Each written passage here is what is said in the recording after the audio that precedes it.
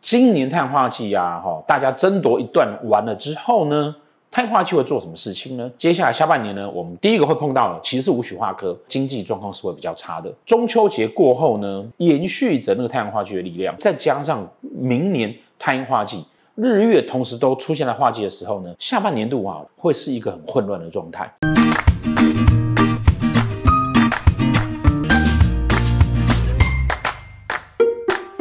今年呢，其实已经过了一大半了。我们现在七月了，整个半年都过去了。那我们在去年的趋势预测里面呢，好年度趋势预测里面呢，我们就跟大家讲了，整年度有一个重要的柱轴叫做什么？叫做啊自律。因为呢，呃年哦或月或或是大限这运呢，其实啊，它在判断的啊，根本都不是命盘，它判断什么？它判断的是四化，也就是老天跟社会之间，就天干跟地支之间的彼此冲突跟彼此。融合而产生出来的变化。那今年呢？因为这个是甲年啊，连贞化禄而太阳化忌。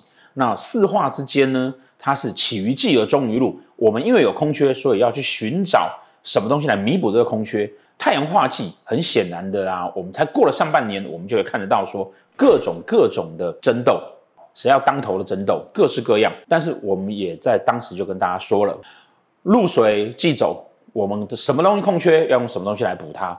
那利用连贞化禄来补太阳化忌。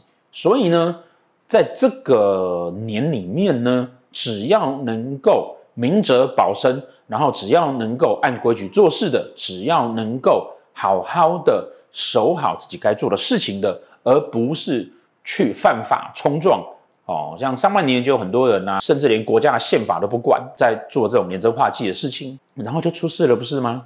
因此呢。这个甲年的主轴，我们在上半年呢，基本上已经看了一大段了。之前有买我年运的朋友，应该有非常非常深的感触。接下来呢，我们来跟大家分享一点点下半年，除了我在年运里面讲到的之外，下半年我们还要注意什么事情，并且每一年每一年呢，它都会有连续性的。明年走乙，乙是太阴化忌，乙的太阴化忌呢，差不多会在今年的最后一季。你就会开始感觉到天机化禄跟太阴星化忌的迹象，然后会在今年的七月十二月，也就是阴历的十一月，你就会开始感觉到很明确的太阳化忌的情况，并且同时融合的太阴化忌会有这种很混乱的状况。如果有长期有观察我影片的朋友呢，就可以知道说啊，哈，那个白色力量哦要出状况，这个我早就讲过了。这中间呢，嗯，会出现。哦，国会乱政的情况，哦，这个我之前也都讲过了，一条条在出现，不要再来告诉我说命理就讲命理，不要再讲政治了，哈，我要再重申一次，历史上著名的大师，哦，历史上著名的高手命理师，全部都是要讨论政治的，无一例外。诸葛亮、刘伯温、张良这些这么有名的人，谁不是要去关心政治状况？然后才能够去判断很多事情。你不会知道这个国家的政治动乱，你怎么去判断它的股市？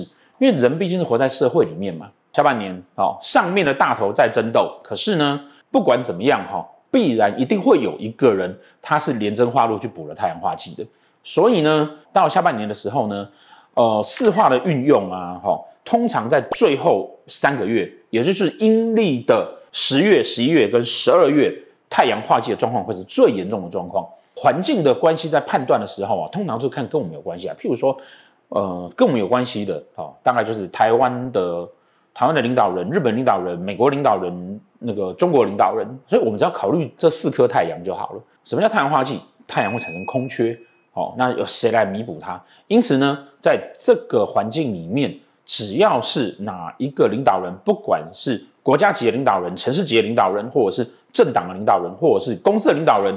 只要在下半年明哲保身，都不要乱动，都很安静，都不要啰嗦的，好好做好在制度内他该做事情的呢，他就会是最后的胜利者。那如果那种要去破坏的啦，哈，因为太阳化忌嘛，太阳要主导，利用主导的力量而产生的空洞，利用手上的权力而去造成一些空洞和破坏的这些人，如果本身自己没有好的自律能力的时候呢，那当然有可能就会被换掉了。因此，快的话，中秋节前后；慢的话，年底我们就会看得到，哦，有重要的领导人会崩解掉，这个是很明确的讯息哈。其实不只是我哈，很多人都已经提出了这样子的看法了哈。那只是说我们在很前面哈，我在去年我大概就提到了，接下来下半年呢，我们第一个会碰到的其实是无曲化科。就台湾来讲哈，或者是说华人圈来讲哈，或者是说我像我们刚刚讲的跟我们有关系的各地的经济来讲哈，在下半年呢，坦白说经济状况是会比较差的。无曲化科大家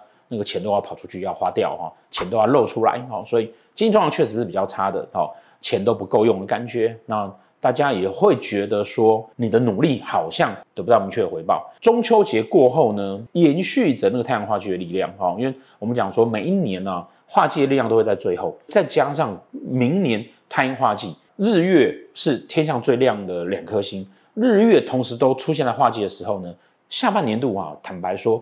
会是一个很混乱的状态，方方面面很混乱的状态，国家政策到社会的脉动都是非常的不明确，你不晓得你该要怎么办。相对来讲，人心也是非常非常浮动的。就企业角度来说呢，会在接下来三个月已经开始有企业可能要缩编，我们会听到中国会有更多的企业，大型企业要倒闭，传统的产业有更大型的波动会出现，但是化科。不见得只是不好的事情，它有名声嘛，对不对？所以呢，也会有很多传统产业呢，好，它有转型成功的话，那它会在下半年，我们会听到很多，尤其是台湾哈，会很多本来是传统产业，然后转型成功的案例，有在做投资的这一类，已经有在进行转型跟有高度技术的这些公司。哦，其实都可以注意，产业龙头有可能会换人。如果说这个产业龙头它是太造进的，譬如说，哎，状况不错，态度大肆的扩张的，这样子它可能就会出问题。可是如果说呢，它是稳定在成长，本来就是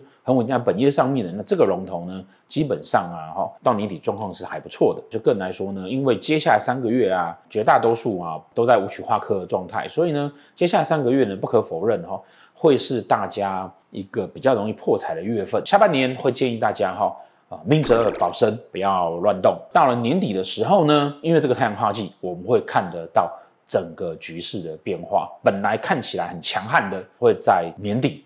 会通通都变得不一样，所以这个是下半年局势状况。今年的农历的差不多十一月左右，你就会看得到太阳花季的。那接续的今年太阳花季这么明确的政治斗争，跟这么明确的产业斗争，譬如说 Intel 那个过去根本就看不起台积电，现在完全被台积电。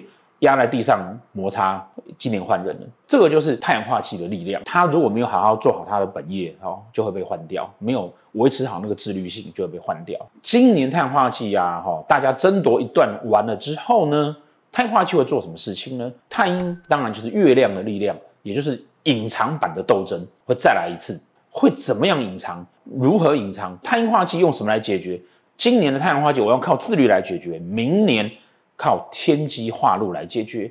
天机化路叫什么？善于逻辑思考、应变而产生出来的能力。明年我们要怎么来利用这个天机化路来面对太阴化季呢？我们会在年底一样的举办我们学会的年会。每年我们的年会呢，就是全世界各地的学生会来参加，并且我会开放名额给我的粉丝来参加。希望大家踊跃来报名，我就会在年会里面预先发布对于明年的趋势预测。谢谢大家。